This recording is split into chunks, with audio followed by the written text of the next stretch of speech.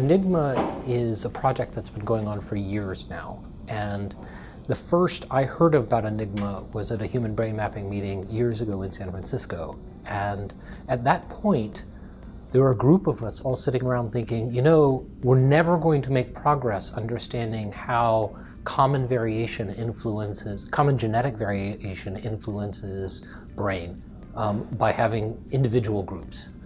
And I was with a group of people and we were proposing a white paper to create something like Enigma.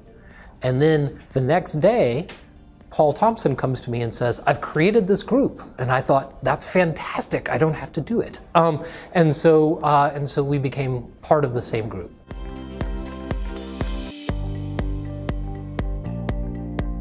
There's an entire disease aspect to Enigma, but then there's a development component and a genetics component. The world of, of genome-wide association models, particularly GWAS studies looking at large-scale samples with common variants, has been successful to the extent that it's helped us delineate genetic architecture, particularly uh, understanding the fact that there's significant polygenicity in many of the diseases that we're interested in.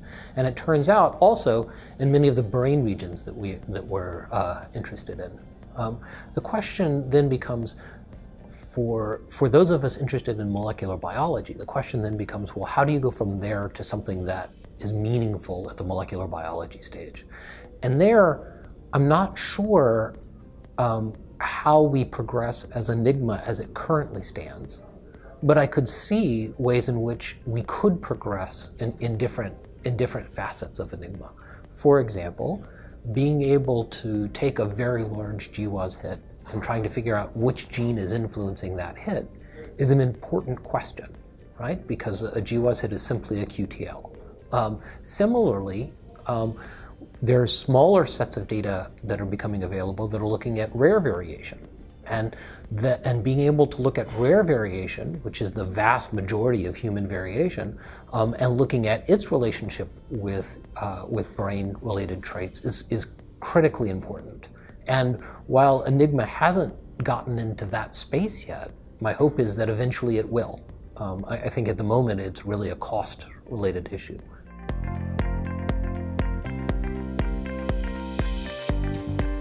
The, the issue that's, that's really important to think about is that Enigma has gone from a small group of individuals thinking about very specific questions particularly this GWAS question that we started with, um, but is maturing.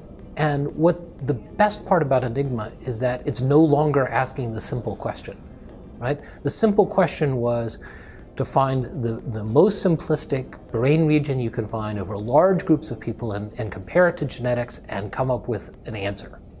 The genetics aspects that I find the most exciting are to me the ones that are more unusual. So um, the, the Enigma CNV analyses, for example, I really believe has the potential to show us some unique and interesting ideas. Um, particularly when you can look at deletions versus duplications and ask questions that, that, that um, look at a particular CNV and its, and its effects.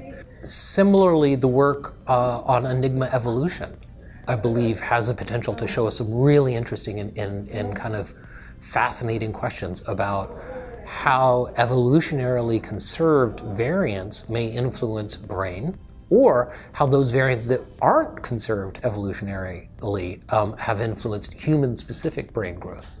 Um, similarly, I think at certain points we're going to be asking questions about regulatory regions within the genome. These are all questions that I don't necessarily know if Enigma will be the first sample to try to, to work it out. But one of the groups working with Enigma might have come up with something, and then we have the potential to test it in a much larger context. And I think in that, in that way, Enigma will continue to help uh, expand and think about and really help us validate ideas that we're getting in uh, from, from individual sites that we could never do at an individual level.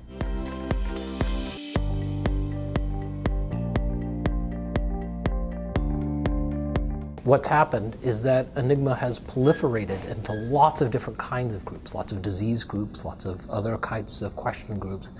Um, and what's becoming fun about Enigma is not that we're continuing to answer the, the simple question, but that more methods are being introduced, more ideas about, um, about complex genetic variation or rare genetic variation. Um, and I, I have confidence that as Enigma continues to mature, that the types of work that Enigma can do will be far better than what it has done to date. And what it's done in the last year was far better than what was done years in the, in the prior years.